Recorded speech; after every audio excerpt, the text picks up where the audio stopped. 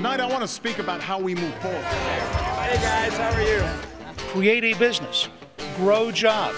From the Voice of America studios in Washington, D.C. A cricket ball? But I'm doing a US election show, not a cricket Thank show. you. Actually, US elections are not much different than a cricket match. Like cricket, US elections happen between two major teams, Democrats and Republicans. In one day cricket, you have to perform good in 50 overs. And here in US elections, you have to perform good in 50 states. Instead of having more runs, you must have more votes to win. So let's play elections. Let's start with the latest and biggest news. big night for Mitt This Tuesday, Republican candidate Mitt Romney won the primary in Florida state. All over Florida, thank you tonight for this great victory. So, what are primaries?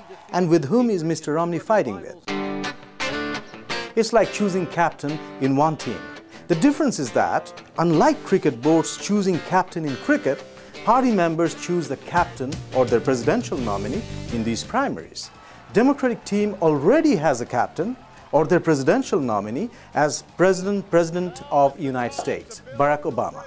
The other team, Republican Party, has to choose a captain or their presidential nominee who will finally play or fight against Democratic nominee President Barack Obama.